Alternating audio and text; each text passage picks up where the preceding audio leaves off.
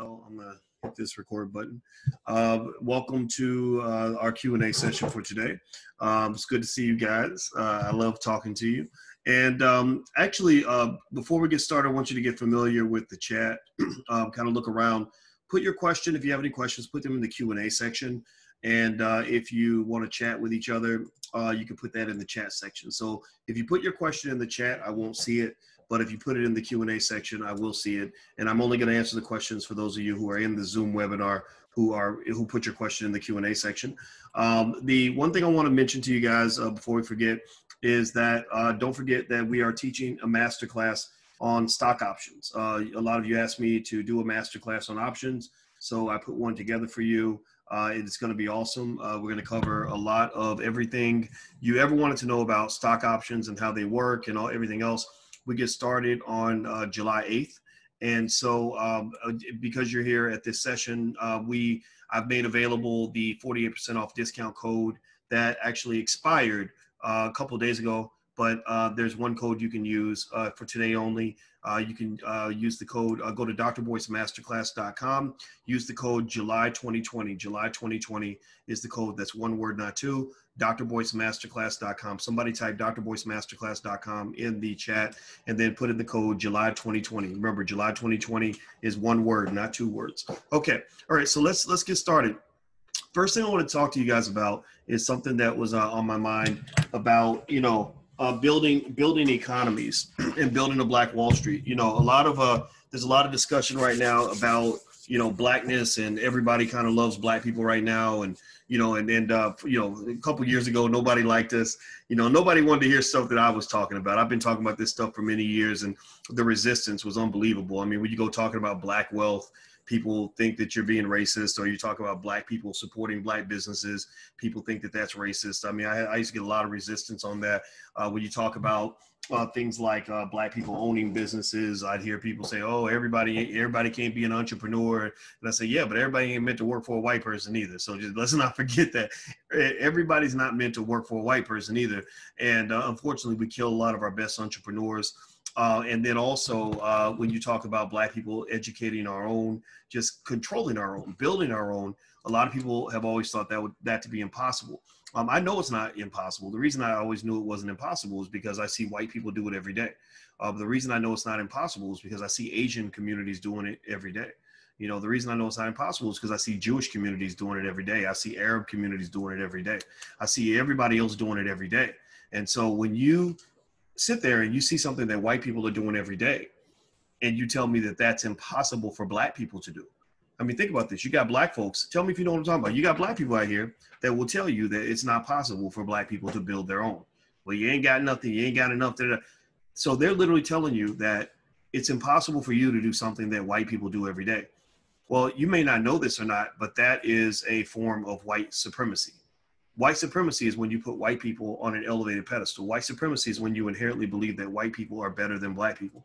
You know, white supremacy is when you believe white people are uh, superior that they have more skill, more capability, etc. So when you um, see something white people do every day and you say that it's not possible for black people to do it, then you are a white supremacist. Or when you tell a black person that uh, that they're supposed to send their children to white schools to be educated because black people are too stupid to do it, you are a white supremacist. And so I, I really kind of want us to really expand the definition of what a white supremacist is. White supremacy is not just an issue because white people feel that way white supremacy is a bigger issue because black people feel that way. There are many black people who believe that a white business is superior to a black business. There are many white black people who believe that a white school is superior to a black school. There are many black people who believe that there are things that white people do every single day that black people cannot can never do. And so uh, one of the things that I, I really love right now is that everybody's talking about you know blackness and black people and black power and, and everything else and uh, and I love the energy. I love what they're trying to do. Uh, but the thing is, I want to make sure that we don't do it wrong. Uh, you know, so for example, uh, there was uh, you know Netflix. The CEO of Netflix announced that he's given 120 billion dollars, excuse me, 120 million dollars to HBCUs, which I think is great. And he's also going to give 100 million dollars to black-run organizations, which I think is also great. He also hired a black woman as you know the head of marketing, which I think is great. Um, I, am sure they're going to do some black content and create you know opportunities for some black directors and producers and all that, which I think is I think that's great too.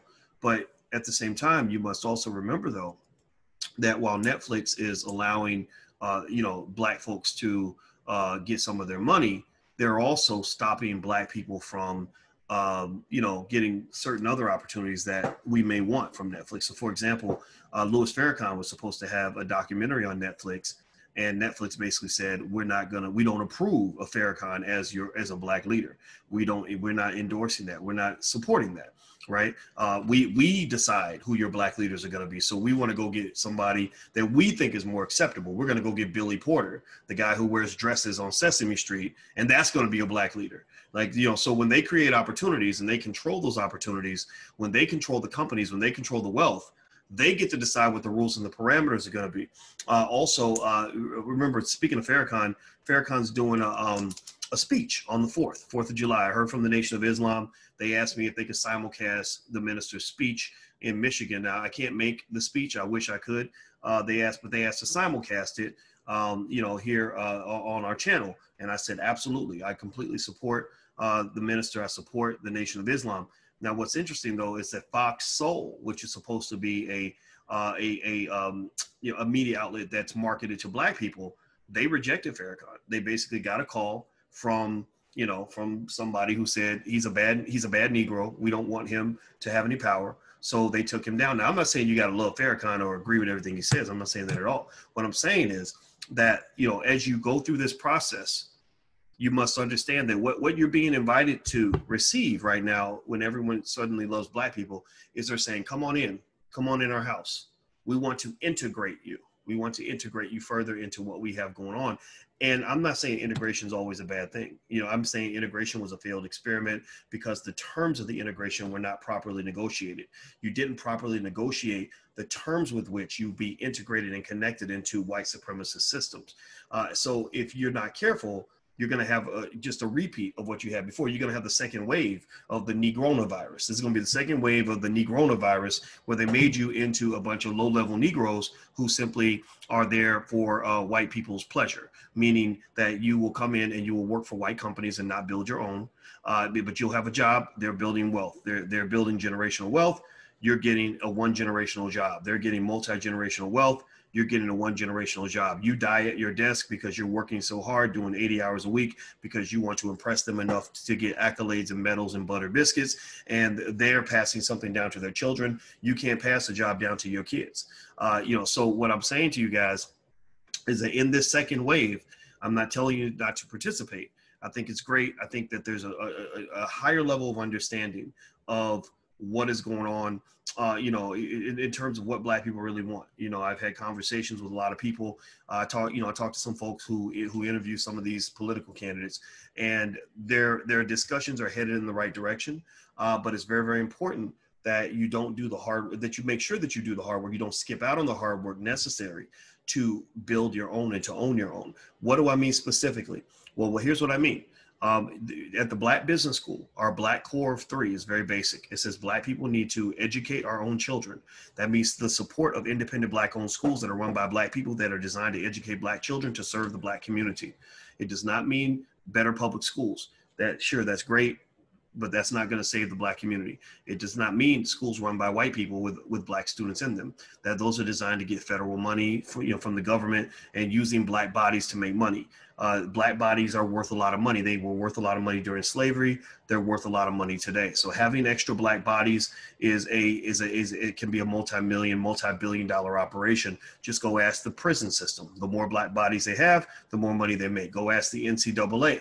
The more black bodies they have, the more money they make. Go ask any failed school in America. The more black bodies they have, the more money they make. And what happens is that you get the Negronavirus of integration. What that Negronavirus does is it pushes you down to the lower tier of that of, of that system. You become the the basement infrastructure of a system that in which whiteness rises to the top. So go to a lot of, uh, for example, go to a lot of universities where uh, at these white universities they're like oh we love black people. We'll admit more black students right? So that means you got more and more black people coming into these schools going into debt. I saw this at syracuse university firsthand. At syracuse university every year you have thousands of black students coming in going deep into debt, into so much debt that they can never repay that debt. Most of the students I knew at Syracuse University many years ago that I used to teach have not repaid their student loans. And when you but when you look at the leadership of the institution in terms of who's really benefiting from all that money, who's really running that campus, who's really making the decisions in that institution,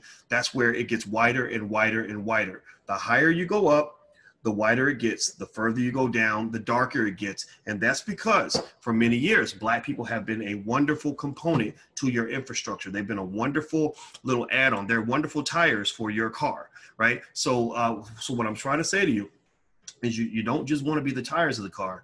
You also want to be maybe part of the engine. You also want to get in the front seat and you want to be the driver of the car. You want to be the person whose name is on the title of that car. You want to learn how to build your own car so that you can decide where that car is going to go, how that car is going to drive. Let somebody else do the work. So, uh, so what does that mean? Black Core of Three in the Black Business School. Black people must educate our own children create our own jobs, and support Black businesses. So that means that we want more funding for independent Black owned schools that are run by Black educators, schools like Freedom Home Academy International in Chicago, where you've got black kids being educated at a very high level. I want that school to have a $100 million budget per year. Uh, you, you talk about creating our own jobs. The best employer for black people are other black people. The best employers for black people are black businesses. Black businesses run by black people with black employees in black communities. And maybe they can also take money from white people too in other communities as well. Then when I start seeing black businesses in Chinatown getting Chinese money, then I'll know we're making progress. When I know that you can set up a business in, in, in Little Italy and get that Italian money, then I know that we're making progress. When I know you can go over to the Hispanic side of town and get the Latino community supporting you the way we might support them, then I know we're making progress. But right now, it's a one sided equation. Right now, they come into black communities, they set up shop, they suck out all the money like a vacuum cleaner, and they leave you broke, busted, and disgusted. black core of three educate our own children, create our own jobs support black businesses. So that also means that last component, support black business, means that that 1.3 trillion that runs through your pockets, it cannot just run through your pockets and run into the hands of white people. That 1.3 trillion, uh, that must be, you know, as much of that money as possible must be stored in the community. It must circulate in the community. But you have a responsibility in this process. This is not just white people. This is not you just screaming Black Lives Matter and begging white people to feel sorry for you and to stop doing what they're doing. it's a two-way street. Oppression is a two-way street. They have been beating you up and you've been standing there taking the punch. So what, what I'm saying is that in order for us to overcome this oppression and in order for us to have this true economic liberation that I'm talking about, you must embrace the idea of actually taking ownership of your community. You must prepare yourself to take adequate ownership of your community. You must prepare your children to take advantage of opportunities. You must prepare your children to create opportunities. You must prepare your children to be able to identify opportunities. You can't have your children growing up and doing things like what Suge Knight and Tupac and Dr. Dre and Snoop did when they had Death Row Records. Death Row Records should be a $100 billion company right now, but instead they weren't doing real business. They were doing Negro business. They were doing trifling business. They were doing idiot business, right? So, so the reality is that in order for you to benefit for a sh- from a shift in white culture uh, uh, and a shift in American culture, you must create a shift in black culture. Now, I've been talking to you guys about this for dec- for the longest time. Finally, black folks are starting to listen. This decade is the first decade where I was actually able to get more black folks to really listen to me when I've been saying this stuff since back in the 1990s. I've been telling you guys that you must train your children to be business owners. Stop teaching your kids that the best way to get it to, to make money is to get a damn job. Stop talking about jobs. Stop teaching your kids how to play football and not teaching them nothing about how to run a business. Teach them how to play football after they learn how to run a business. Stop teaching your kids how to play basketball when they, they've never owned a single share of stock. You spend more money sending your daughter to cheerleading camp and to dance camp than you spend sending her to economic camp, business camp, investing camp.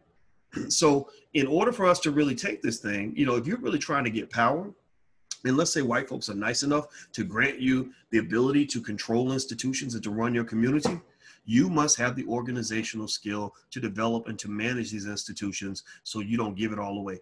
the game of wealth, no matter how socialist people want to be, no matter how apologetic they want to be, no matter how egalitarian they want to pretend to be, no matter how polite they want to be, the game of economics is a competitive game the game of economics is a competitive game and you can't always get mad at somebody because they're smarter than you You can't always get mad at somebody because they're more prepared than you. You can get sure you can be you can be upset. The world hates clever people. What do I mean by that?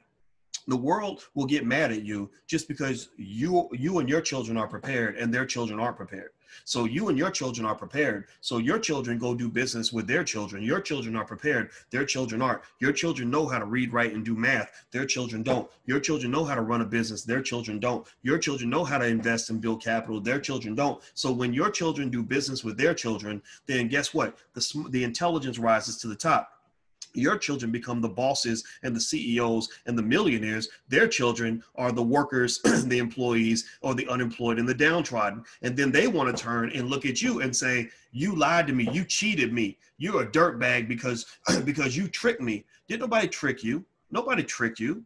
You you they I prepared. You didn't. Why are you mad at me? Because I worked hard to succeed. Let me just tell you a story. Then I'm gonna shut this down. I'm gonna stop talking about this because I want to answer some of your questions.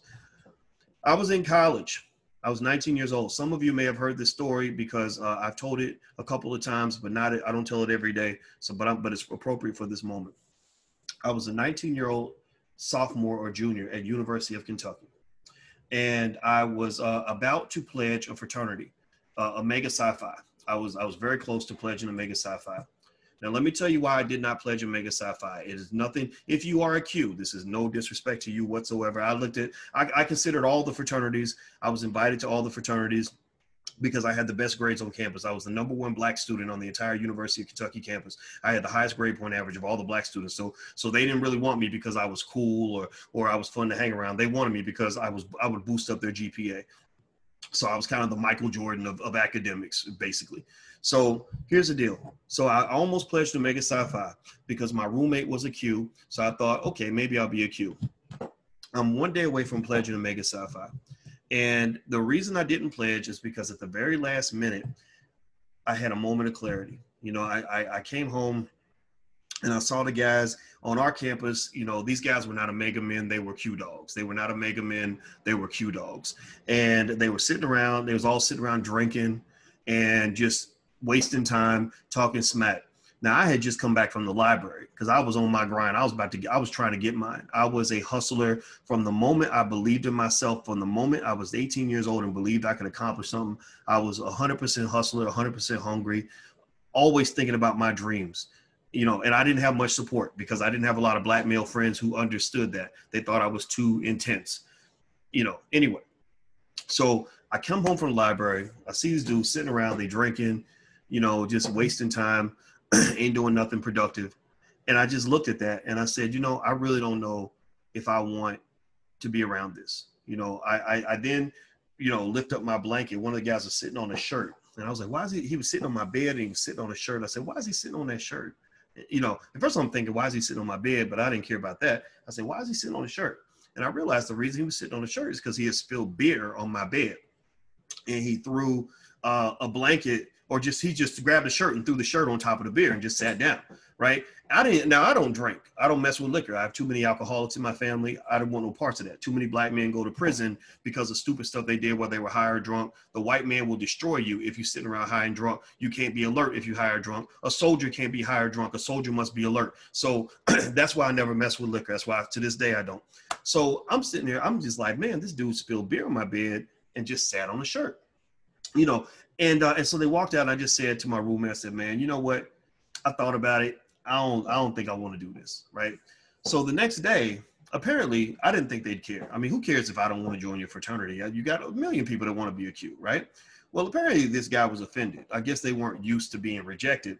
So this football player, a big bulky dude, much bigger than me, very intimidating, six foot three, two hundred something pounds. Football. He played on the football team, and he was really making some really snarky remarks, just really saying some really you know rude shit you know like just just being a jerk you know and, and, i was like why is this guy talking to me like that you know so i'm getting eventually i'm kind of mad i'm like I'm, I'm, like you got a problem with me and and basically this dude thought that i was just you know a, a wimp because i didn't want to become a q or whatever and he was saying this and saying that about me and so so me i've, I've always said what was on my mind. You know, like it, when I was little, my mother used to say, "Boy, your mouth will either make you great or get you killed." I'm curious to see which one. So I got mad. I said, I said, I said, "What's your problem, man?" You know, and I'm sitting there thinking in the back of my mind, like, "Whoa, this dude is big. He could he could probably break me in half if he wanted to."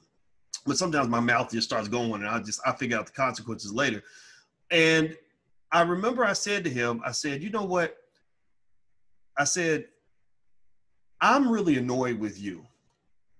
I said, "You are a young black man who has an opportunity to get an education, and instead of studying and building for your future."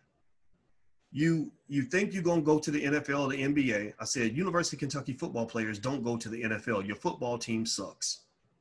I said, y'all sit around, you drinking, smoking, messing with these nasty ass women, just any woman that walks through the door, and you're wasting your opportunity. And I said, you know what's going to happen? I said, in about 20 years, when I'm about 40, I said, some dude like you is going to get mad at me because I have money and he doesn't. He's gonna get mad at me because I'm successful and he's not. You know, and, and I'm, I'm thinking, I was like, somebody he's gonna he's gonna get mad at me because because my life is good and his life is crap when we had the same damn opportunity and you blew it because you too busy trying to be a low life piece of crap Negro. And I was trying to work hard and invest in my future so I could become somebody. And, and I remember he was like, he's like, I ain't gonna be man. I'm gonna be in the NFL. I'm gonna be fine. I said, man, you ain't gonna make it to no NFL. Nobody from Kentucky goes to the NFL from the University of Kentucky football team. I mean, y'all, y'all you can't even win a game in the SEC. So what are you talking about? And I remember that conversation because years later, that's exactly what happened. Years later, you know, when when I have done, you know, the the 12 hour days on even on a Saturday night, when I have put in the blood, sweat, and tears, when I made the sacrifices, when I made all the investments, when I put in all the time to grind and to push and to be the best that I could be at what I did, so I could be one of the best in the world at what I do today, I will run into people that will literally be mad because because you're successful and they're not.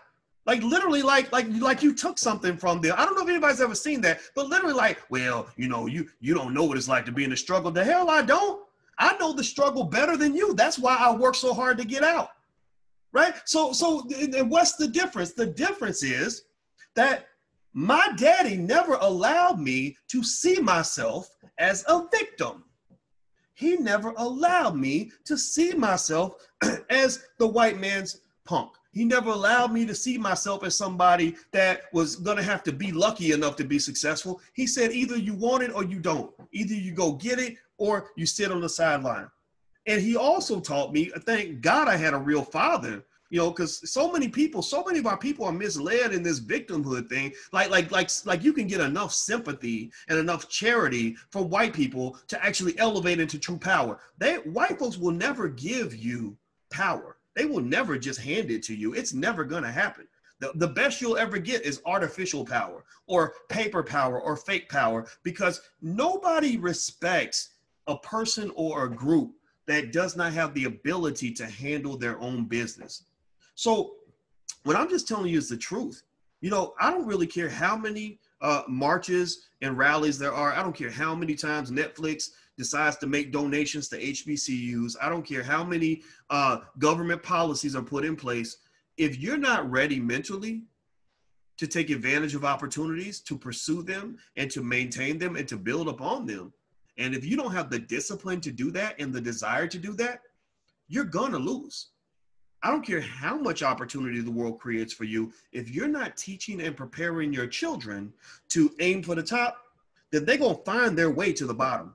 They are going to find their way to the bottom. Did you guys, have you guys ever seen this? There's a study actually that shows that because of this crazy because of this culture this you know this, this not just this uh this uh this um you know this this culture that teaches you to feel sorry for yourself, this victim culture, but also you know what some parts of hip hop kind of did to the mind of the black male. Did you know that they found that even black boys who grow up in middle and upper class households were likely to end up poor, likely to still like like they would find their way to the bottom.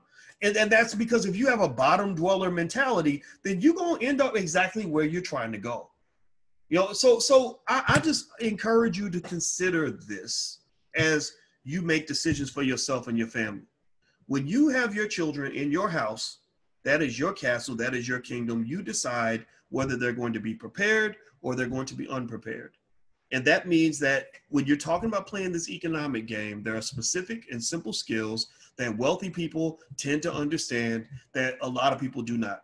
There are also distractions out here. And if you notice, if you watch me, if you listen to me on a regular basis, you'll know I don't get too caught up in all the emotional triggers that are dropped on you every single day in media. I pay attention, I'll talk about it, I'll respond to some of it. But when you look at what I do on a day to day basis, it always comes back to economics and education and preparation. I don't care what CNN just said on TV about Black Lives Matter or whatever, right? So, so, so mission critical, mission focused. That's what you must be. People who understand their mission and pursue that mission are the people who win in this world. Those who do not, do not win.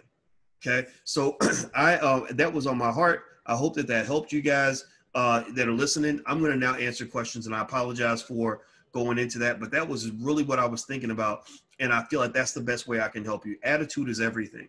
So I want your attitude to be one of power. I want your attitude to be one of prosperity. I want your attitude to be one of ownership. I want your attitude to be one of investing. I want your attitude to be one of planting seeds. I want your attitude to be one of, of, of, of, of never believing that anything's impossible for you uh, because everything that you ever want to do in your life is possible. You have to be willing to sacrifice in order to make it happen.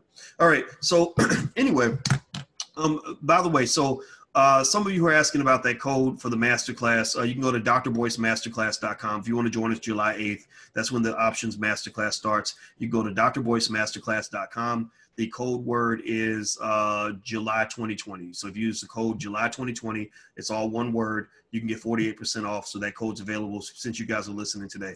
So uh, drboycemasterclass.com. The code is July 2020, one word. Okay, so let's go. Let's go. All right. So Audrey, uh, do you need experience in stock or options to participate in the options, the stock options class? You do not need experience in either one to join the stock options class, Audrey. Um, uh, definitely not in options. Stock, you want to at least know the basics of you know why you want to own stock and things like that. Um, and uh, and I can answer some stock related questions as we talk about options. Uh, but uh, in general um, I don't think a person needs to understand stocks in order to understand options, but options are linked to stocks. Options are what they call derivative securities that are linked to the price of the stock. And so, if you, um, so options are typically used to provide assistance in your stock strategy. So in a way, you can think of the stock as Michael Jordan and think of the uh, options like Scottie Pippen. If you know anything about the Chicago Bulls, uh, Pippen wasn't as good of a player as Jordan, but Jordan couldn't win games without Pippen, right? Pippen was kind of the backup. So basically, options allow you to back up your stock strategy. They allow you to um, uh, do a few things: uh, create income in your portfolio without having to sell your stock. They allow you to uh, manage your risk, so you can reduce your risk of a downside, protect yourself against uh, losing money. They also allow you to scale up and participate in the upside. A lot of investing, a lot of the reason why you want to be an investor in this country is because when you're in the game, you get a chance to participate in the upside. So uh, basically, being a bad investor is actually far better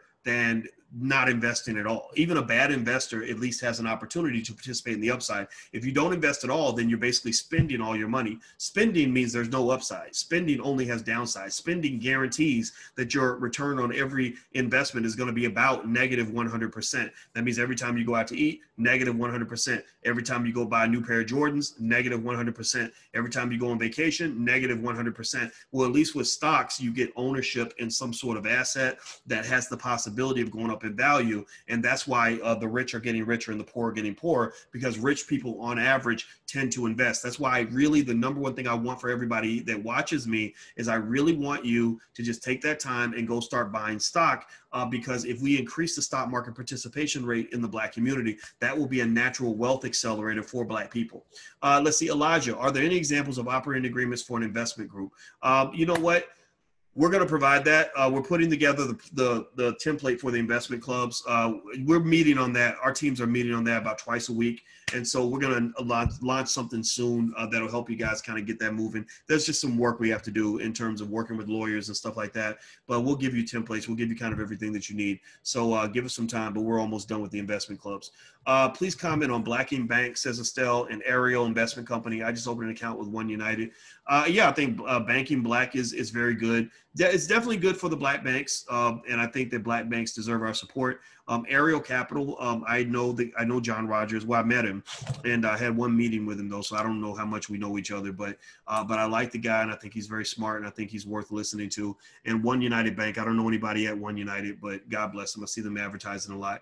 Uh, Carletta, uh, pleasure to meet you. Nice to meet you too. Are fractional stocks a good strategy for long-term investing? Yes, because if you buy a fractional share, it's the same as buying um, an actual share for the most part. Fractional share is similar to actual share in the sense that you um, you know, you're, you're participating in the growth of the stock. So if you have a stock like Amazon that's $2,600 a share, uh, you know, fractional shares allow you to get in on the Amazon thing, you know, without having to put up 2,600 bucks. You can buy $10 worth of Amazon or, or $50 worth, you know, whatever you can afford. Uh, Latasha, I want to take your options masterclass, but I'm a beginner. I just finished your mini investment course and really don't think I'm ready for trading options. What are your thoughts? Do you think I should take your masterclass investment or master investment class instead? Uh, well, Latasha, let me lay this out for you here's one thing that we offer you with every program in the Black Business School just to make sure you're always making the right decision. We want you to make the right decision 100% of the time. And we never want you, we don't want a single nickel from you for anything unless you walk away feeling like you got 10 times more than what you pay for. So we have a 30 day, 100% money back guarantee on every program. So that means if you join the class and you feel it's not for you, you can just email support at theblackbusinessschool.com and we have an excellent outstanding support team that will respond to you right away and will take good care of you and they will make it right. And so uh, there's no risk to you whatsoever. So um, i will say this any question that you have. I designed the options masterclass in such a way where it's built for beginners. It's built literally in a way where I can explain this to an eight-year-old. And so, uh, so really, you know, you you will understand options when when the program's done, uh, even if you've never invested in stock before. And the reason uh, that I think the Black Business School that we're good at what we do is because um, as a finance professor, it's, it's a little bit different from being like say a financial expert or just a guy who read some books. You know it, it, we don't read the books we write the books that you know and so basically by understanding the theory and understanding the intricacies and the subtleties of it on such a high level i can explain it in a way where you'll actually understand that you've understood what options are since you were a little kid. Like i can take what you already know and say oh it's just like that. And you'll go oh okay i get it now right? So that's one of the strengths that we have, and that's one of the things that I think makes the Black Business School very unique. And we do teach better than any university, HBCU, any Ivy League school that you've ever gone to, because we're uniquely designed to make sure that this is understandable even to children. So feel free to come in, bring your kids, etc. The URL is drboycemasterclass.com. Uh, the code to get 48% off, it, it'll, it'll expire tomorrow. Uh, but the code is uh, July 2020. It's one word, one word, not two. Um, Maryland, uh, old 401k is sitting but making money. Should I move it to an IRA or something else? um, I don't see any reason that, that you have to move it. Um, I, I, I, think it's, if it's making money, you know, you have it sit there. If it's an account that you can keep contributing to, um, the key to building wealth is to be consistent. Remember, wealth is an accumulation process. I mean, something has to accumulate. So, you know, you have to just sort of just, even if you're not doing very much, just doing something small every week, every month on a consistent basis on autopilot is really how people become very wealthy. Like, for example, the $5 a day plan that I gave you guys, you guys have access to that. If you don't, just email support at theblackbusinessschool.com and they can forward you a copy of my $5 a day ebook, which is totally free for you guys. It's on sale on Amazon, but don't, you don't have to buy it over there. Just uh, email, um, email support at theblackbusinessschool.com. They'll send it to you. And what it does is it explains how wealth accumulation works. Basically, you're just dropping little drips of money into your stock portfolio. And even if you don't know anything about stocks and you're literally randomly picking stocks, I, I kid you not, a five year old could be randomly picking stocks and just putting in their $5 a day. And that person's wealth will grow to almost, you know, to extremely well defined amounts of money over a 10 year, 20 year, 30 year period. The thing that's hard to replace is time. The, you know, the time component is what makes the difference. That's why I really do my best to convince you guys to invest you know with your kids to get your kids started early because if you get your kids started early and you get them on a consistent training program financially speaking, meaning you're consistently dropping you know small amounts of wealth into their portfolio, then it's very easy for that child to be extremely wealthy by the time they're in their 20s or their 30s, right? So so just kind of you know think about that and uh, and that's the best suggestion I, I, can make to you guys. And put your questions in the in the Q and A section. Uh, I can't see them if they're in the chat because there's a, there's 40 questions in the question and answer section. So I'm, i want to try to get through those. Uh, Michael, please explain exchange traded funds. Um, an ETF is basically an exchange traded fund is basically something that indexes itself to um, or connects itself to some sort of broad category of stocks. So, for example, the uh, the SPDR uh, ETF uh, is is uh, for the S and P 500. So that basically links itself to the S and P 500, which means that when you buy the ETF, you're buying a little bit of every single stock in the S&P 500 instead of having to go out and buy 500 individual stocks or pieces of stocks you can just buy an ETF and an ETF will give you instant diversification. Like ETFs don't go bankrupt. A company can go bankrupt. An ETF won't go bankrupt because in order for an ETF to go bankrupt then all the companies in the ETF would have to go bankrupt which is a statistical impossibility right so ETFs are a great way to get instant diversification uh, let's see, I heard the government is buying bonds of large companies. How does this provide opportunities for us? Well, what this does uh, is when, when the government's intervening and they're buying bonds and stuff like that, remember that, you know, they can inject their financial medicine anywhere. Like the government can put their money anywhere they want. Um, but they tend to inject their financial medicine at the top. They inject their financial medicine into the financial markets. That's why I encourage you guys to be involved in the markets so that when they inject – the money and inject the resources, you're going to be the first to benefit. Our country doesn't do enough for everybody and for rank and file people, and that's unfortunate. Um, but what is is is, is an opportunity in America is that anybody can invest in the stock market. There is no whites only sign. There is no sign that says only rich people can do it. Um, there are apps that allow anybody with ten dollars in their account to get started. And so I encourage you guys to just sort of understand that the way to benefit from what the government's doing is to position yourself appropriately and that's that's sort of what this government intervention does. Um, so that url for the masterclass drboycemasterclass.com that's the url drboycemasterclass.com the code is july 2020 that's one word not two july 2020 if you want 48% off we start july 8th we're going to meet for six weeks at 8 p.m uh, each wednesday and the recordings will be available all the slides will be available everything will be available and by the time you're done you'll be able to go in, jump in, and use options to strengthen your portfolio. We will cover all the basics of options and how they work and the different types of options and the different. And then we're going to talk about the strategies. We're going to talk about the variables that move option prices and how they operate. And the cool thing is that because I understand it so well, I can explain it in ways that won't confuse you and throw you off because there are a lot of um, uh, you know these what they call the Greeks, the Greek variables that can move option prices, and it can be very complex. But there are ways to make it simple, and that's the goal. The goal is to make it really simple so we can then understand the complex. Okay, so so let me let me see here. All right, so the what are susus? Oh, wait, are what is called susus a form of investment? Yes, a susu is a form of investment, but what you want to be careful about is that there are these things going around called blessing looms that they are that are pretending to be susus. Um, a blessing loom is not a susu. A loom is like they, they show you these little flowers and and basically, um, unfortunately, according to the government, a loom is defined as a Ponzi scheme. So if somebody, if your friend says, "Oh, we got this group that's making money," you should join our group. And all you have to do is recruit two people, um, you know, behind you, and they're going to put in money, and then you get your chance to be in the middle, and you get the blessing from everybody else.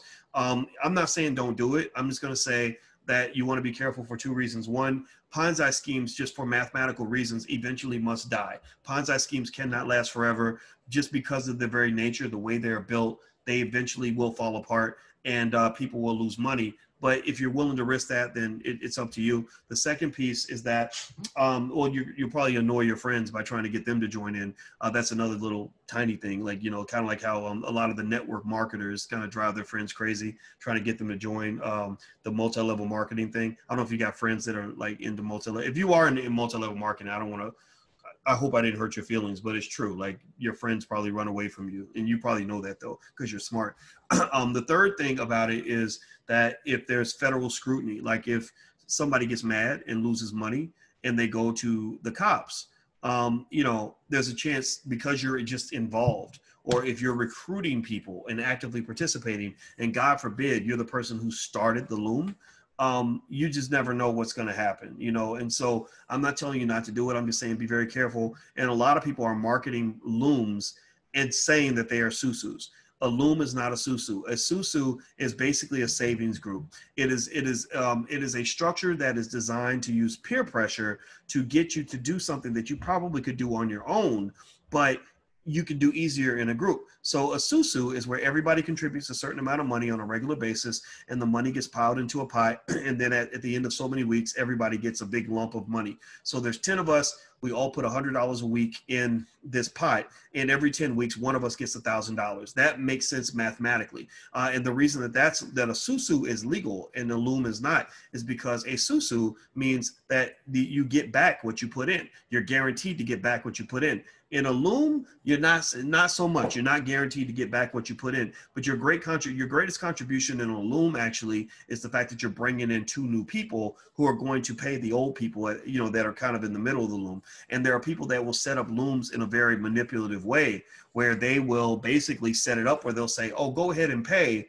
And then when your turn comes, you'll get paid too. But then your turn never comes because there are people that set up looms deliberately in that way. So just be really careful with the looms. Or if you participate, I, I wouldn't do it. Uh, but the susus are fine. The susus don't grow your money though. That's one downside of a susu. Uh, but susus are kind of like they kind of do what insurance companies do basically everybody pulls their money and then there's a pot of money and uh, and now there you may get your money on a schedule in a susu but i think a susu could be actually more effective if there was no schedule. If you simply just said you know we're just going to keep pulling our money and if nobody ever needs any money if nobody has a financial emergency we're just going to let the pot keep growing. And then maybe you could take that money and actually invest it. Then you've uh, elevated from a susu to an investment club in which your money actually grows and everybody actually is able to get more than they put in. But instead of getting it because they're recruiting new members, you're getting more because you're actually growing your money through investment. Uh, Nana, uh, here from Philly. Okay, Nana, I got a Nana in my family. Our kid's grandmother's called Nana. Uh, my question is about suitable investments. What are they, and should how should investors know about them? Um, you mean just suitable investments, things you should invest in? Uh, I would say, Nana, that well, stock, stocks are pretty safe if they're traded on the New York Stock Exchange or the Nasdaq. Um, those are good markets. You you know you're not going to usually get ripped off in in those cases. Um, if you're talking about doing real estate, um, I would get somebody to guide you through the deal because real estate, if you're a first timer, it's easy to lose money or to miss things that you might have caught if you were a more seasoned investor. Um, investing in somebody's business is a real risky thing because uh, that's an easy way to get ripped off. If they're controlling the money and they're making the decisions on whether or not you're going to know how much came in and all that stuff, it can become a real mess if you're dealing with somebody that you don't know. Um, you know, so I would encourage you to um, really, really vet people that have you invest in their small business and also use contracts to protect yourself. Uh, let's see, Linda, what time is Farrakhan speech? What's your channel? Thank you. Um, the channel we're going to put it on is uh, yourblackworldtv.com. That's yourblackworld.com tv.com. And uh, I don't know the time of the speech. Um, my producer is the person who's making the arrangements. So that part I don't know. But if I find out, I'll, I'll let you guys know. I don't know when it's. I just told them they could they could use the channel. I'm going to actually be in um, Atlanta. I'm going to go to Jay Morrison is launching a uh, political party called the Black Rights Party, and I told him I, he has my full support. So I'm going to go down there for the launch of the party, and I'm glad to participate. Michael Taylor, I'm purchasing my stock through a brokerage account on Fidelity instead of Acorn or TD Ameritrade. Is that good to do? Yeah, uh, Fidelity's great. When I went to open up my account, uh, the account is referred to as a money market fund. Uh, yeah, I wouldn't put. I, yeah, money market funds don't grow very much. So I mean, if you want your money to just sit still, then um, great. But if you want your money to grow, money market funds aren't the best way to do it. Uh, I'm a new student learning about stocks. It's good. It's going slow. And although I want to learn more about stock options, I'm not sure this is the right time. Why do you think I should take the class now? Well, you know, it's totally up to you in terms of what you feel comfortable doing. But uh, basically, I think that the I think that the greatest thing about the class, honestly, is that I'm good at teaching this stuff. That, that's you know, and I think that I can I, I feel confident I can sit down and explain it to a 10 year old.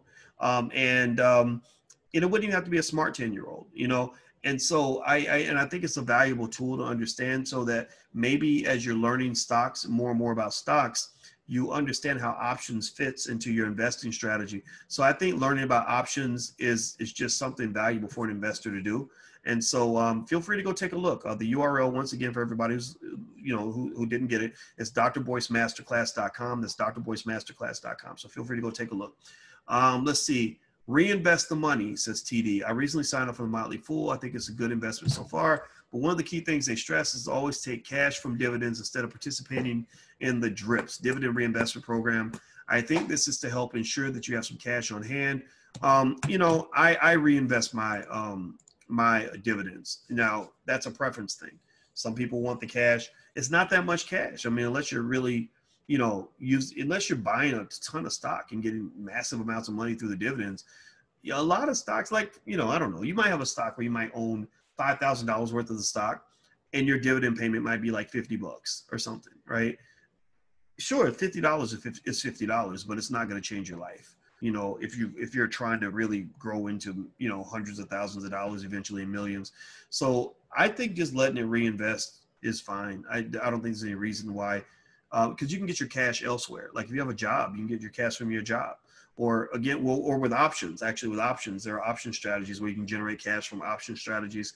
So I wouldn't necessarily feel that you have to use your dividends for cash. Um, hello, Dr. Boyce. My, with this pandemic, how will how will I create wealth in spending little money, and which field uh, for you will be the best to begin? Um, how to create wealth by spending a little money. Um, I would learn how to be an entrepreneur. If you don't know how to start a business, I would go look and find some low cost way to learn the ins and outs of starting a business. Just know that the people that really know how to do this stuff really well are, you know, are usually going to charge you some money. But you know, given that people will spend hundred thousand dollars going to college, where most of the professors don't know anything about making money, um, I would encourage you to instead to consider uh, going online and finding somebody that's just really good at what they do.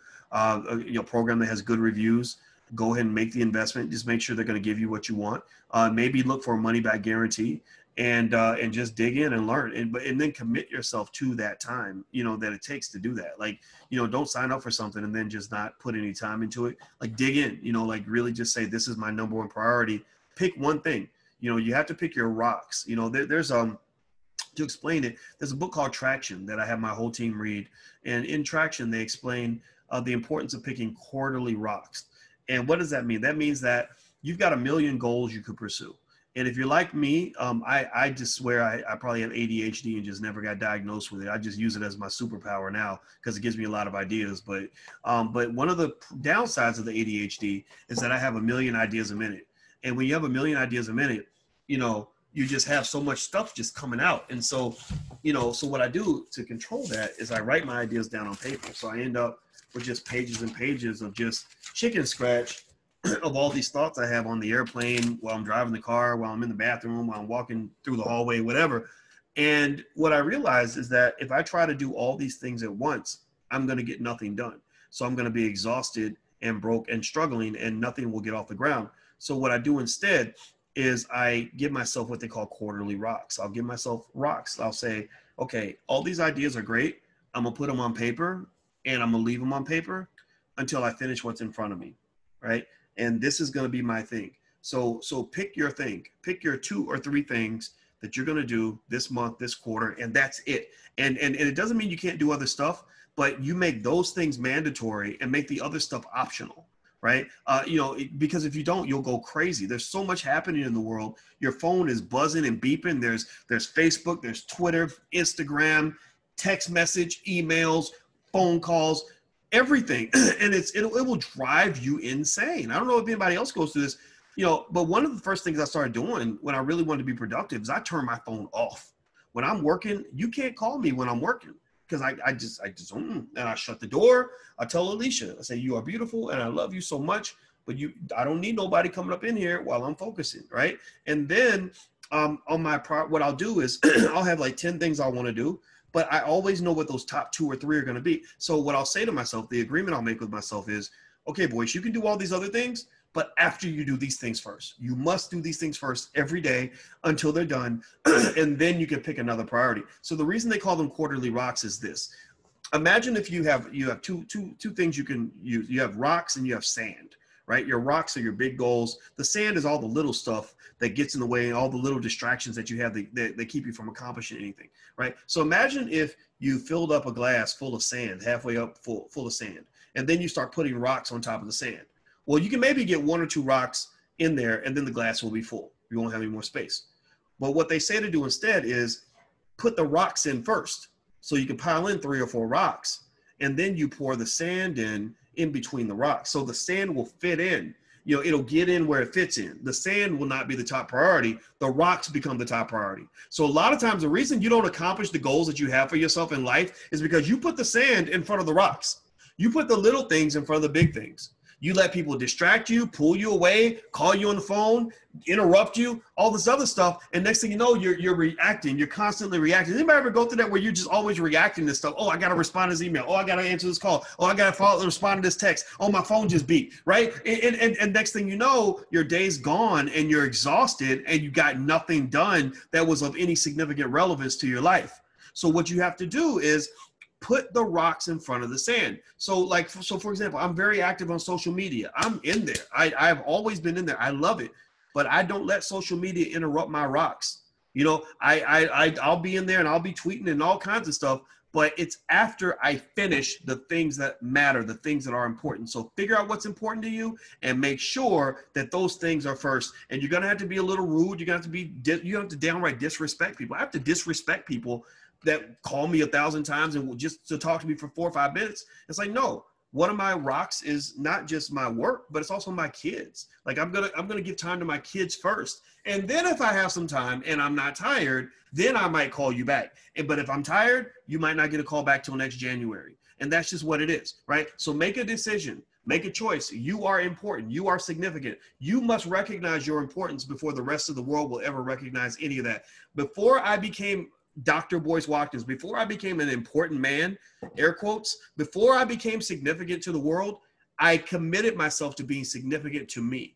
So, in my mind, back in 2004, when I was in my office making no money, nobody knew who I was, nobody gave a damn, I said to myself, my time is as important as if I were the president of the United States. And that's because I am building something big. I am building something that is going to change the world, and nothing will get in front of that. So, decide what matters to you and stick with that. Let me keep going. Mitchell, the Black Business School's intro to the stock market mini class is the best and will no doubt produce multimillionaires. All right, that's awesome, Mitchell. Thank you for saying that.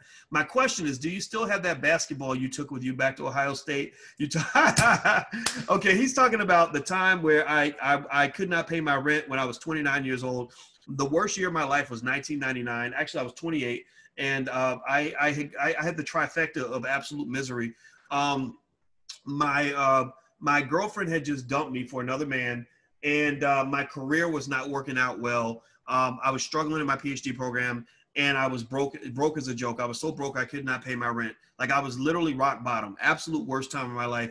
And I, I'm so thankful to God I went through that because when you go through the misery, when you literally stare in at the it, it, you know into the abyss and you're standing at the gates of hell, that's when you find your superpower. That's when you that's when you get your opportunity to be great. I, I'm just telling you. So anyway, uh, that night I was moving out of my apartment. I had to sneak out because I couldn't pay the rent, so I had to literally just break my lease.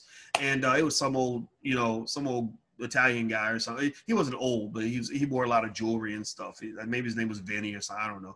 Anyway, so I just had to bounce. I had to go, and uh, and I had enough money to rent one van going one way um, to go to Ohio because that's where I had a place to stay. So I packed everything in the middle of the night. I packed everything I had into this van, and the van was so full that I, I realized I was like, I got to take my basketball because I love playing basketball.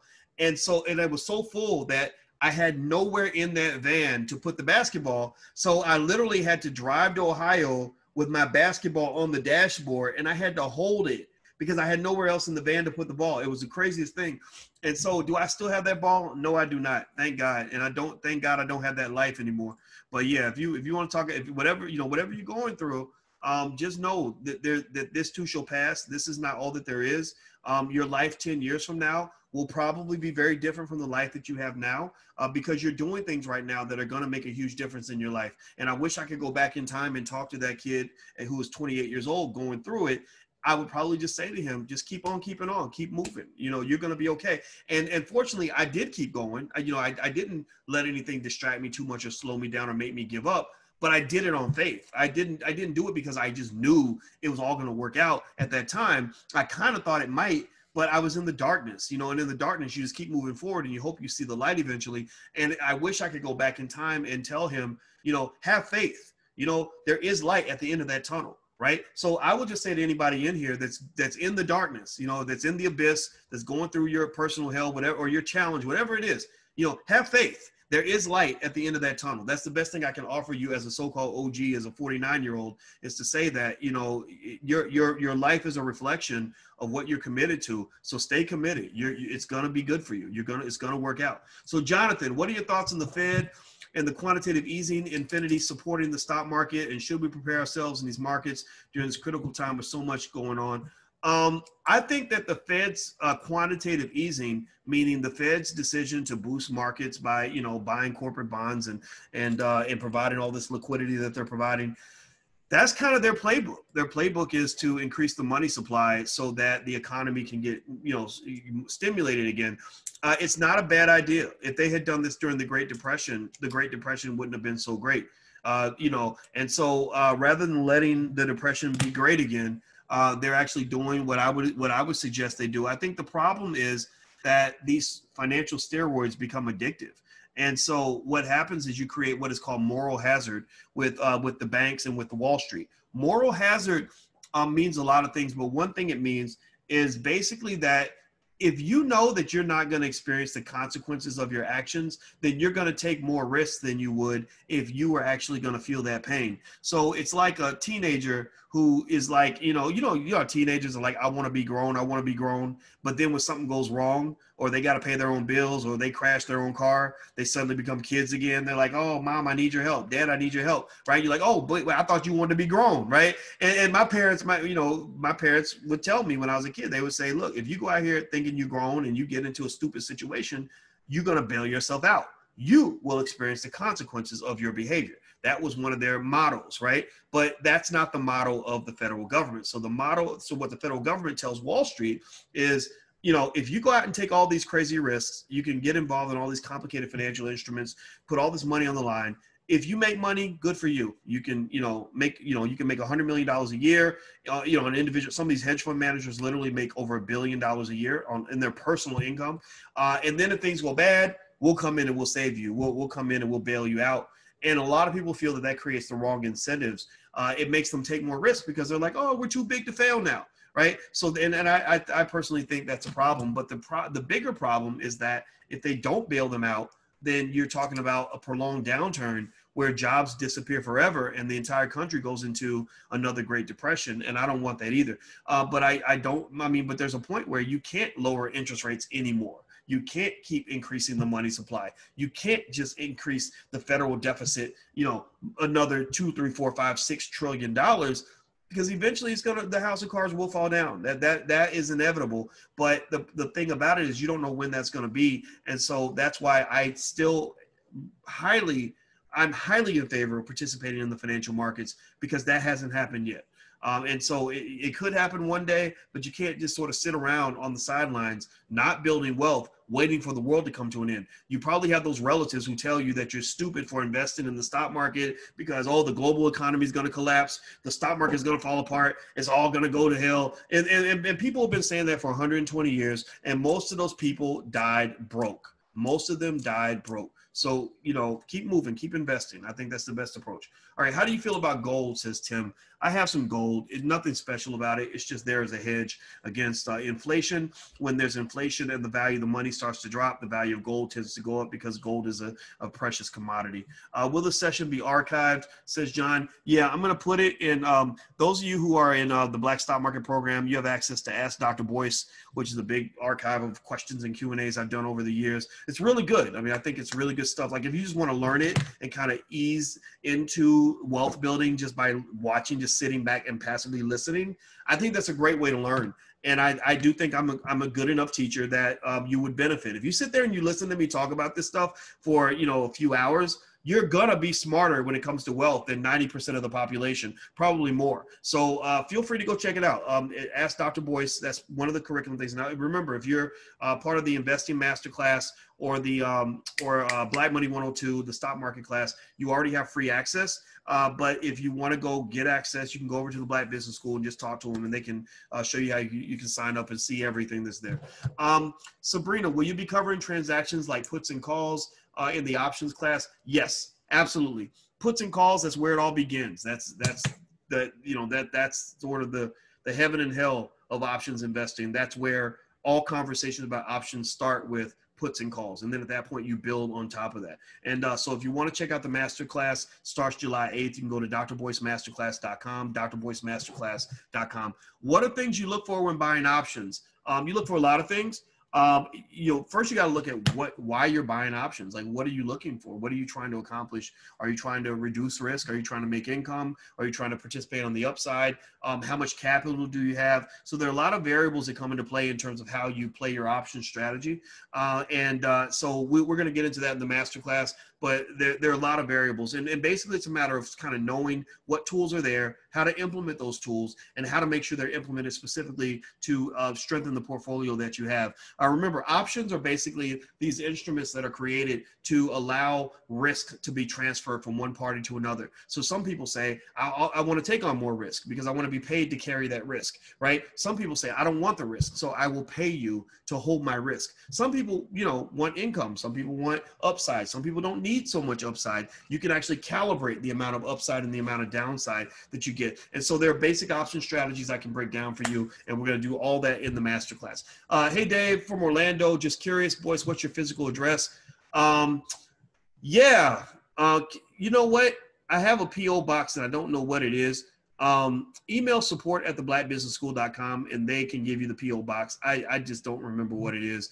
Um, obviously, I can't give my home address because people are crazy but uh, not that you're crazy, just they're you know they're crazy people. And um, but yeah, there is a PO box, and so if you email support at the blackbusinessschool.com, they can get you the PO box. And also anybody who's in the Black Business School or thinking about adding a class or bring joining with your kids. Um, I think we're great at educating kids. We, I really think, I'm serious. If you really want to have these super amazing children in the next generation, just subtly introduce them to wealth-related concepts at an early age, and just get them started now it, and what'll happen is it'll spark something in your kids.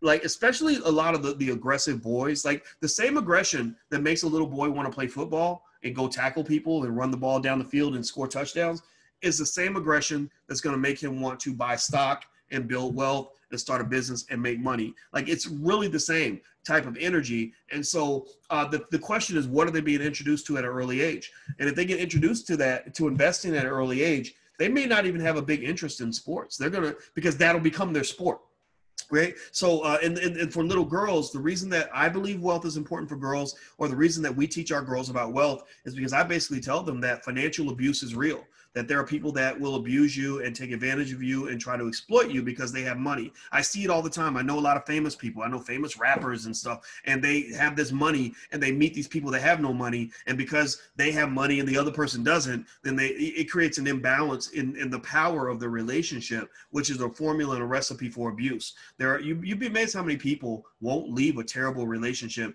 because they've never were taught by their parents how to provide for themselves financially. So I encourage you to get your kids started early.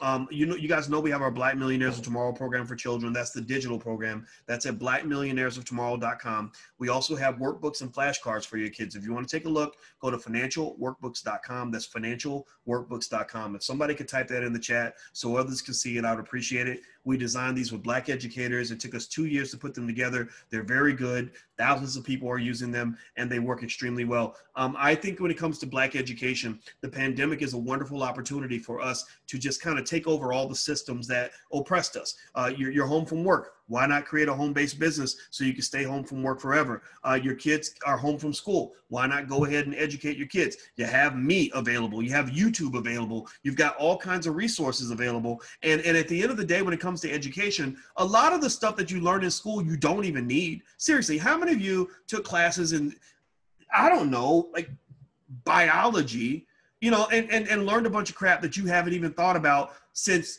the 10th grade? I'm not saying if you're a biologist, then you, you don't count. But you know, most of you think about it. think about how much crap you learned in school that has no value to you. You know, or learning. I, I took a class on Irish peasants when I was at University of Kentucky. What the hell do I need to know about Irish peasants? At what point have I used any of that in my everyday life or to feed my children or to do any of the things that matter to me as a black man? Not one single time. The only cool thing I learned from my Irish peasants class was I learned about a drink they had in, in, in Old Ireland called Boney Clabber. And Boney Clabber was basically where you took some spoiled milk, you took some milk, you let it get nasty and spoiled, and you mixed it with cow's blood and you stirred it. And for some reason, people drank that crap. That just tells you what kind of weird Neanderthal type people we're dealing with in America, right? I don't know why anybody would do that but just know Boney Clabber wasn't created in Africa. And so, anyway, that's the only thing I ever learned from that class. So, why not take that time you might spend learning about, you know, Irish peasants and Boney Clabber and take that time to learn how to buy a home? Hmm, maybe that'll come in handy. Or how to uh, invest for your financial security. Maybe that'll help or how to uh, get married and maintain the health of your relationship so that you can have a strong family, which allows you to build an institution on that family, a family bank, a family LLC, a family empire, right? Why not take the time that's wasted and make it productive?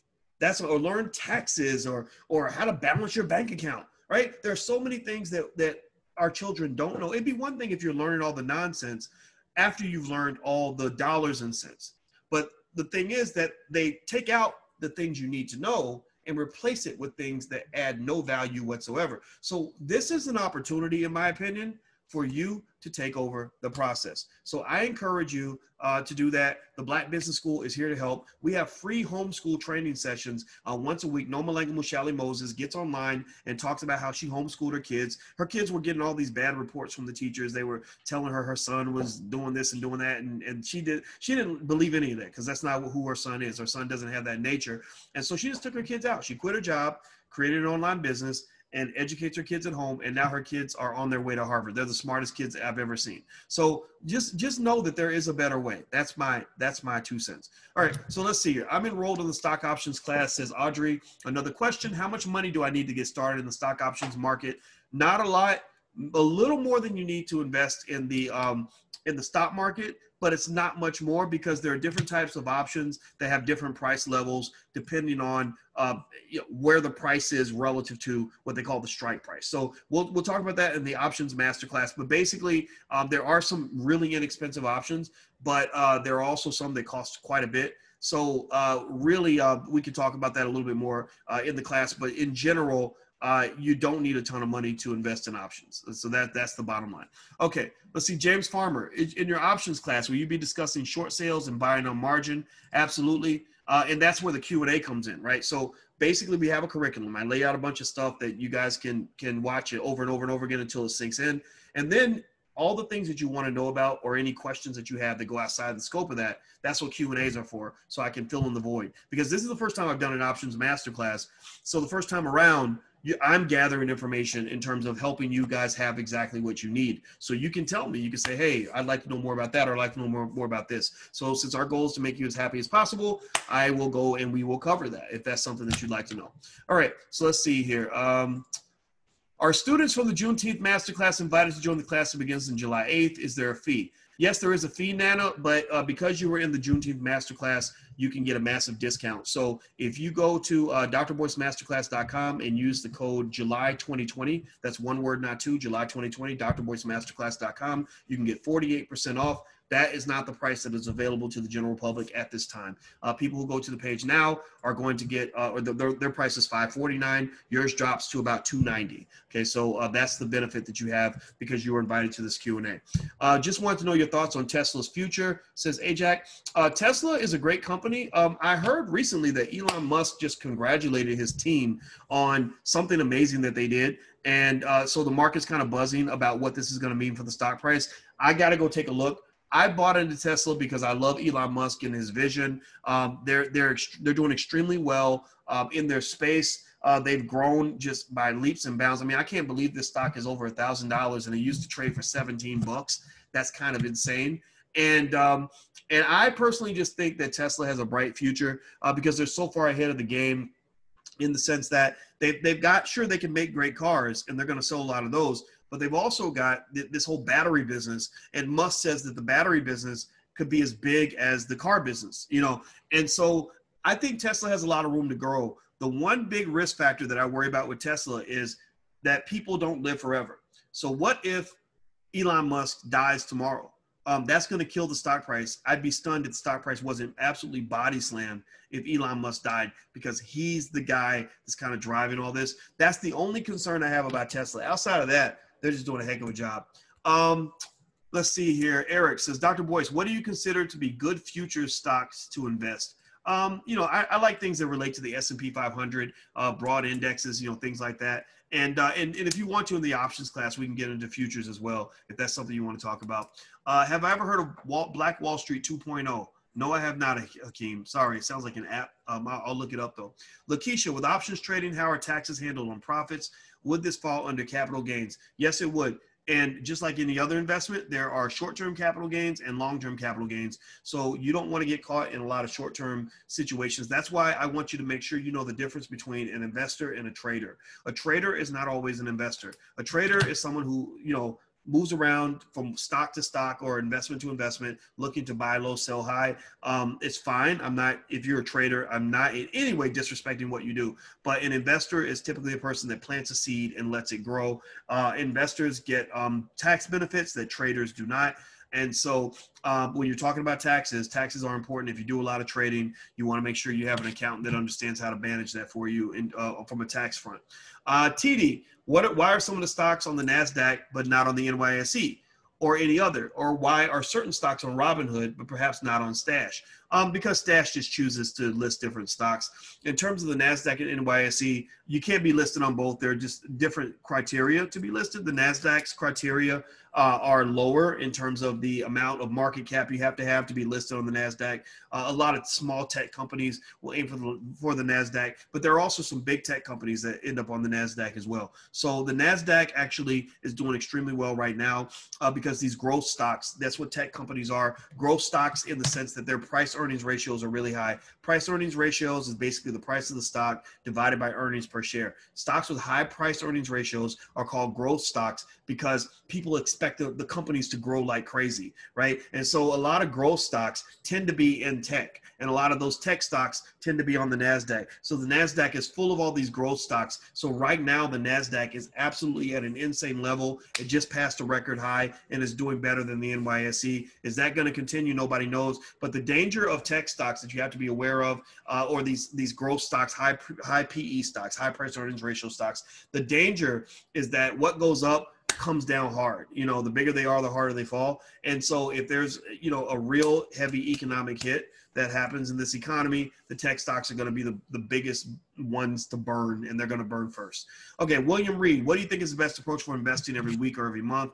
Uh, invest a bunch of money when you think there's opportunity. Um, I think what they call dollar cost averaging, just consistent investing, have some money auto directed to your account. And then maybe once every week or two, you just go in and pick some stocks and just make sure you're well diversified and just be consistent. If a person just does that for, for a 20 or 30 year period and they do, let's say they invest the amount of money that a person might spend normally on fast food, clothes, and shoes and, and going to the mall or whatever, then that person would actually have hundreds of thousands of dollars in the bank uh, within a 20 or 30 year period. If you did that for your child, if you simply said, right now, I have this baby, this baby's one years old, and I want this baby to be in a good, in good shape by the time they're 30. So for their 30th birthday, I'm going to give them a big stock portfolio. And in between now and then, I'm going to basically take the amount of money I spend on fast food and I'm going to match that amount uh, with by putting that same amount in the stock portfolio. And I'm going to do that consistently and religiously. And I'm not going to sell anything. I'm just going to keep buying, buying, and accumulating. And you do that consistently. Then by the time that child is 30, you're going to have about a quarter million dollars available to give that child. And that will be the best gift you can give that child because you're not just giving them money, you're giving them freedom. Uh, you're giving them uh, content contentment, well-being, security. You're giving them the ability to tell their boss to kiss their ass. You're giving them the ability to go and start that business they want to start. You're giving them the ability to buy their first home. You're giving them the ability to get married uh, and, and have a nice wedding and not go deep in debt. You're giving them the ability to go to school without going in debt, right? You're giving them a lot of things that go beyond the money right? Uh, and that's the key idea with money. This is again, this is me you know given a personal philosophy but i want to encourage you to not just think about money as this key to obtaining material possessions. Well it's fine you should want those things if that's what you like that's okay i'm not judging anything that you want to buy with your money. If you want to buy a helicopter like kobe or whatever it is that's up to you that's no problem. But what's going to happen i believe is that once you get all the material stuff once you get the nice house and the nice car and you you know you've chartered a jet before you've flown first class then you're going to start needing something else that's going to fulfill you you know that's why you look at guys like warren buffett warren buffett if i'm not mistaken and bill gates both of those guys actually if i'm not mistaken have agreed to give away like 99% of their money right? Because for them now, money is just, it's like, yeah, yeah, yeah, we got plenty of money, right? Once you make your first few million, it's it's kind of downhill. It's I mean, you, what are you gonna do? just buy a bigger house and a nicer car? I mean, it kind of gets stupid. That's why you see a lot of really wealthy people get really depressed and suicidal, or they get start using drugs and everything else because they don't have anything else that's going to give them that high that they had when they were making money. Money is that original drug, and then eventually that drug wears out and they replace it with other drugs whether it's sex or or real drugs cocaine or whatever right so figure out you know what you're going to become when you actually have money. And, you know because I, I really think you have to think about that because if you don't you're going to one day wake up and realize you have no reason to get out of bed. You, you, you know, money is no longer a motivator anymore, and you're going to find something else that's going to motivate you. Okay, so anyway, let me keep going. Uh, Tim, what do you look at when buying stocks? Um, I like to buy things that analysts like. So if the majority of the analysts say that this is a good stock to buy, um, then I I get in, I invest in that stock. Um, and then also sometimes I want stocks that pay dividends. Uh, dividend stocks don't grow very much, but that's good, you know, extra cash flow, income, things like that. Uh, and then sometimes I might want to just rebalance my portfolio portfolio. So I might say, you know, I don't have any exposure in China. Let me go buy a mutual fund that invests in China, right? So I don't want to do the guesswork. I don't want to figure out which Chinese company is going to be the big winner. I, I just will invest in a fund. I'll let the managers figure out which Chinese companies are the best ones to invest in. Uh, I'm not all that tech savvy and attempted to buy stock through your program with no luck. How do you go about buying stock? Um, you can buy stock with a lot of apps. The three big ones are Robinhood, Stash, or Acorn. Um, you can also use things like E-Trade, Ameritrade, Fidelity, uh, etc. Um, and uh, yeah, if you're in the program, if you're in one of the programs and you're having trouble buying stock, uh, email support at theblackbusinessschool.com and they can send you something that can get you help you buy your first share of stock. Or if you go to firstsharestock.com, just go to firstsharestock.com and there's actually something there that will get you that'll show you how to buy your first share of stock on TD Ameritrade. So feel free to go check that out too. Um, let's see, may someone over 65 invest in the stock market? that's on a fixed income? Absolutely. Remember, when you're over 65, you're not going to die tomorrow. So a lot of people think that because they're older, that investing doesn't matter, that they shouldn't participate, is stupid, and that's not true. Investing is something that you should do at any age uh, because remember, when you're gone, you, what you what you accumulate, you, you can't take it with you. You're going to leave it for somebody, right? Uh, so that's one thing. The second thing is when you're 65, your life expectancy has now risen to about 80 or 85. So that means you've got another 15, 20 years left on this earth. That makes you a long term investor, right? That's where uh, our wisdom in the Black Business School goes against conventional wisdom that you're going to find in a textbook. There are textbooks out there that'll tell you that when you get older, you want to minimize the risk because you don't have as much time to wait in case there's a market downturn. And some of that is true. But again, just because you're 65, that doesn't mean you're going to die tomorrow.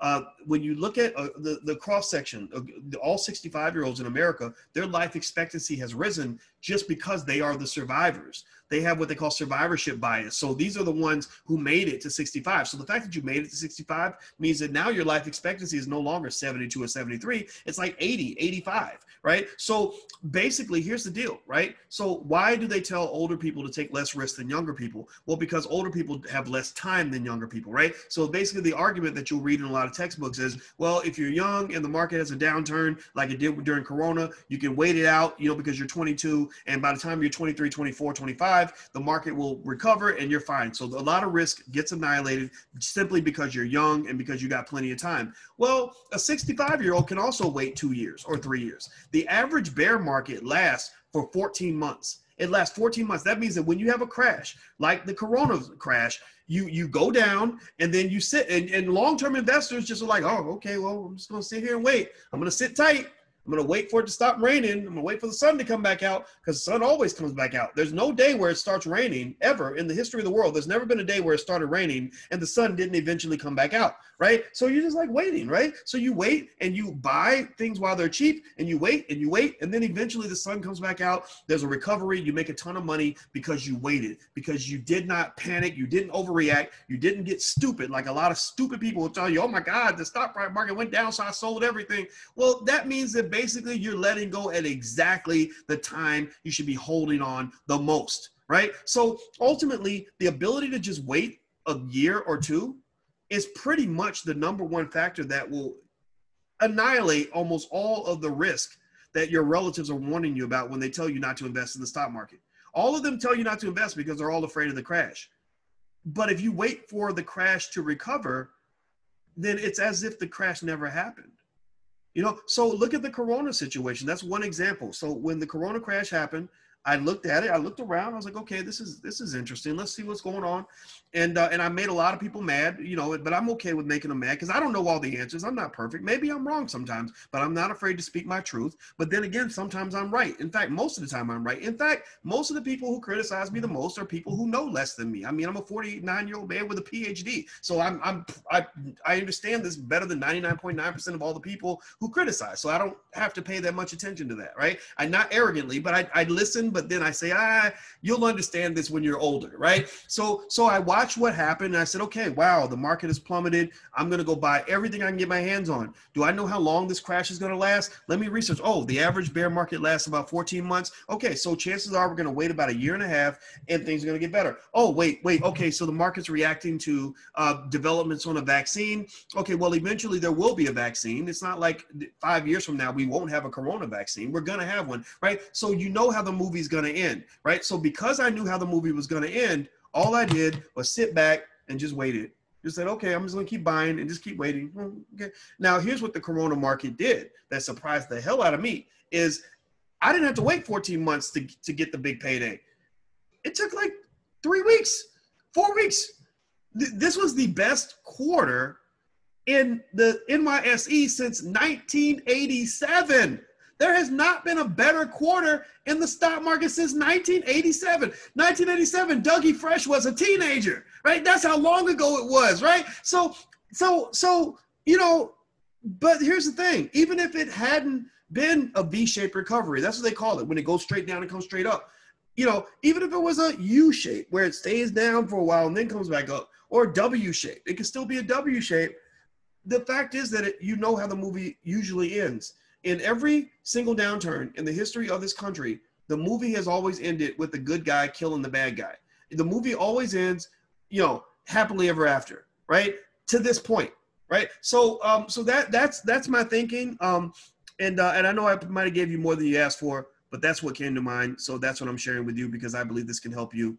Um, a lot of times, if you the best thing, the best benefit I gained from reading, you know, thousands of books and thousands of articles and writing research papers on the stock market and going through tons and tons of stock price data going back to, you know, 1908 is that a lot of times what happens is once you go through all the complex complex stuff all the complexities and all the stuff that's designed to confuse you all the long you know four syllable words that financial experts say that make you feel like the market isn't for you it actually goes back to simple things it goes back to the monkey experiment done by Burton Malkiel in 1974, where he taught monkeys how to invest by throwing darts at a wall and found that monkeys are able to actually make more money investing badly like monkeys would invest. Monkeys can invest. Monkeys can't do anything that humans can do, uh, at least when it comes to investing, right? But but that monkeys can actually make more money than a human who doesn't invest. So literally, people who are afraid to invest who sit on the sidelines because of fear or a lack of knowledge or because they're intimidated, unfortunately, they're going to do worse than a monkey would have done just by moving forward and just focusing on the simple things. So I'm going to teach you all the complex stuff. I'll break it all down for you. We can chop it up, look at it. I think it's important. I think it's important to digest it and understand it so you can really, you know, feel comfortable with it as you move forward. But at the end of the day, the simple stuff is what's going to drive everything. The simple stuff is what drives wealth. The simple stuff is what's going to get you to the finish line. So just do the little stuff, and that's what's going to get you there. Okay, so I'm done talking. I know there's 81 more questions in here. I wish I could answer them all, but uh, Alicia told me that I can only I'm only allowed to talk for so long uh, because she makes me go upstairs and eat dinner. So I got to go upstairs and eat dinner because I got this beautiful black woman who loves to cook for me, and she's also a PhD, and so I respect her intellect. But man, she can cook. And so um, I'm gonna get out of here, guys. But I enjoyed talking to you. It was really my honor and pleasure to address you and speak with you. Um, I look forward to working with you and helping you and your family achieve all your goals. Uh, if you want to go take a look at the masterclass, I will give you the URL one more time. We start July 8th. That is that is our options masterclass, first one we ever done we've ever done. I'm excited. It's going to be great. So feel free to go to drboycemasterclass.com. That's drboycemasterclass.com because you're here, you can have that discount code that's not available anymore to the public. It's going to expire tomorrow. And the code is July 2020. July 2020, one word, not two. July 2020. Put that code in, and that will reduce